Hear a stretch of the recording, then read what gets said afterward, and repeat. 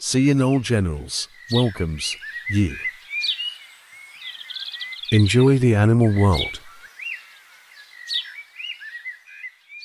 In this edition of Enjoy the Animal World, we braved the winter West Coast rain to visit the West Coast National Park.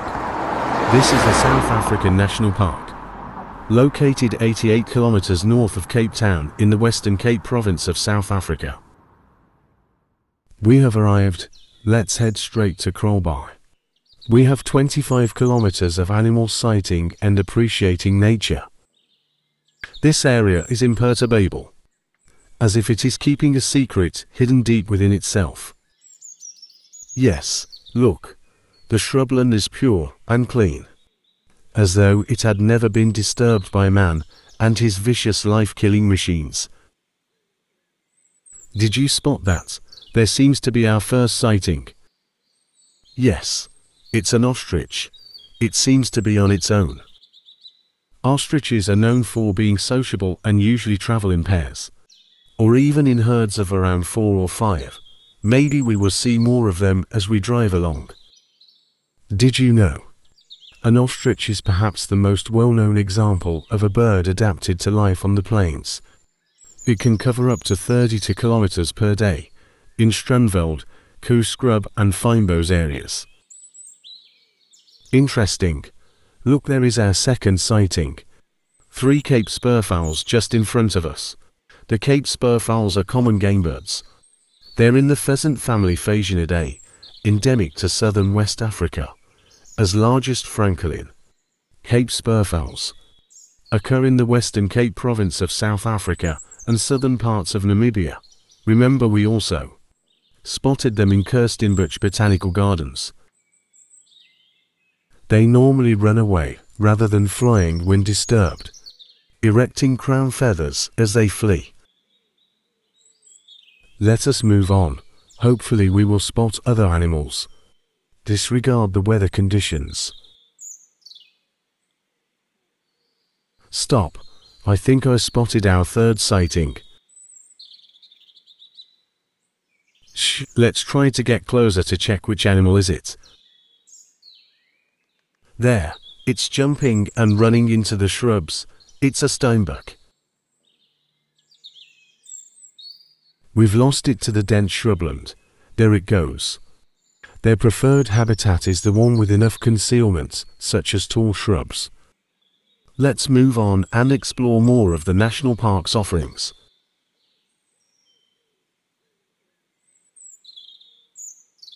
West Coast National Park surrounds the beautiful clear waters of the Langebaan Lagoon.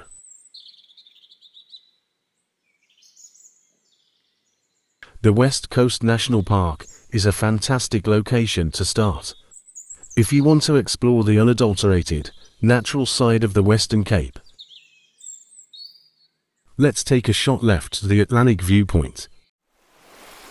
Did you know, on a clear day, you can see Table Mountain National Park from here. That's a walking distance of about 100 kilometers. Interesting, isn't it?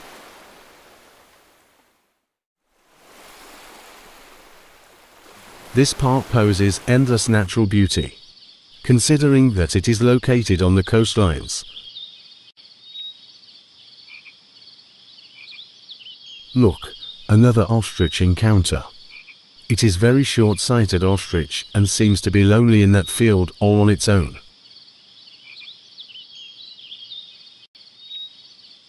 This now proves to me that ostriches can live alone sometimes, as this our second sighting of a sole ostrich. As we drive further down, I'm craving an antelope sighting.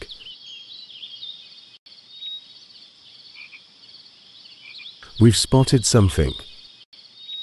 Look, what are those? They look more like antelopes. Yes, the bontebok, Damaliscus pygargus. A medium-sized, often dark brown antelope with a conspicuous, wide white blaze on its face. It also has a pure white rump, belly, and hocks, as well as a black tail tip. Both sexes have horns. albeit ram's horns are larger and heavier than ewes. When it comes to their diet, this antelope seem to prefer short grass plains within the vegetation, typical of the fynbos plant shrublands. Did you know?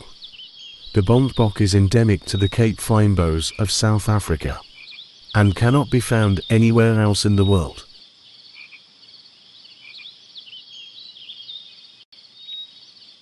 Thoughtful conservation has ensured the survival of the bontebok, which was previously thought to be the rarest antelope in the entire world. The bontebok is now restricted to South African protected areas. Have you been to the National Park of the West Coast? Please share your thoughts in the comments section. Secret beaches, well-built and spacious braai areas, a ton of exhilarating outdoor activities, and some of the best wildflower viewing in the country are just a few of the amazing features that make the West Coast National Parks a beautifully preserved. Spotless paradise on earth and the ideal getaway destination. Here are some of the featured tourist attractions in this park. This information center covers everything I needed regarding this visit.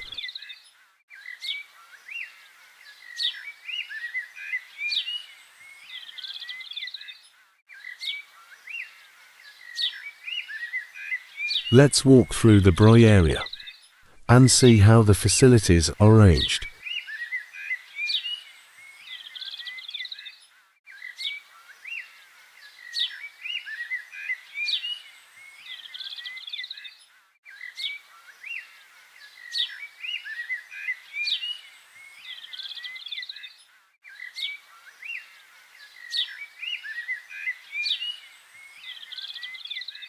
Now, let's head back to the Langebaan side of the West Coast National Park via the beach.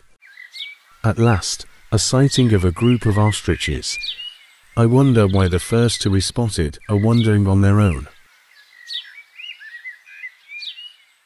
This park is bordered by the wavy Atlantic Ocean on the west, and the R27 coastal road. Due to the weather conditions, the ocean seems to be experiencing rough seas. The weather is windy and stormy resulting to big waves.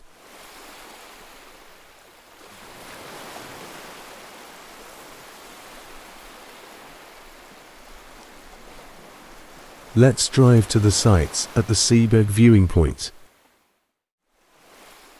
Hopefully the weather permits us to witness some of Western Cape's greater sights such as Table Mountain, the Cederberg Mountains and the southern part of the Langebaan Lagoon from the Seeberg viewpoint.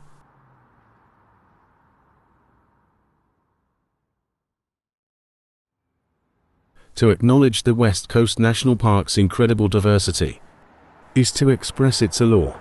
Rugged scrub explodes into a mosaic of vibrant wildflowers every spring. And the wildlife that calls this home ranges from antelope and predators on land to the magnificent fish, mammals, and sharks of the Atlantic Ocean.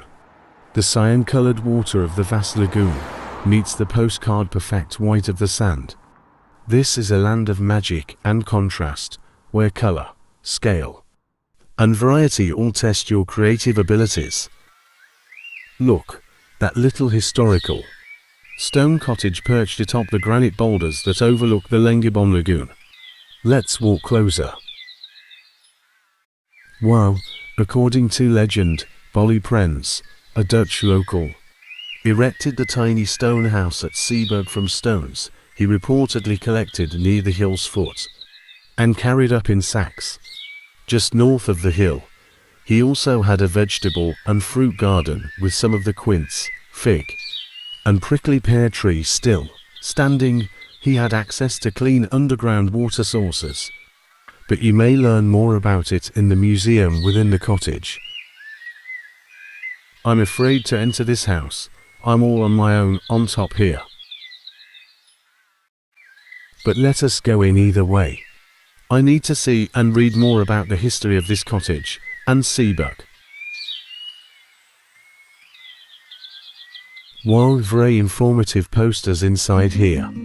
We're in Seeberg Viewpoint, West Coast National Park, Langebaan, Cape West Coast, Western Cape, South Africa.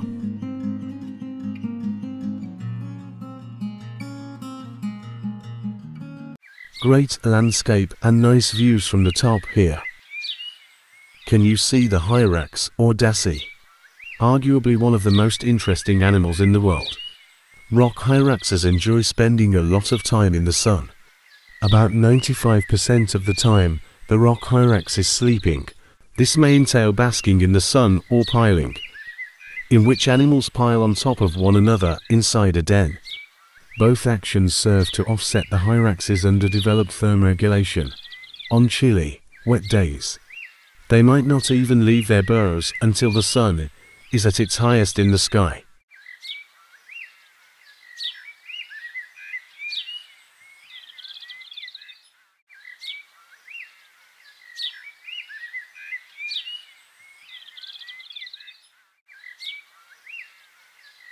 Can you spot that animal? Looks more like an antelope. Gemsbok maybe. It's too far to determine or identify. Thanks for watching. Please like, comment, and subscribe for more of my videos.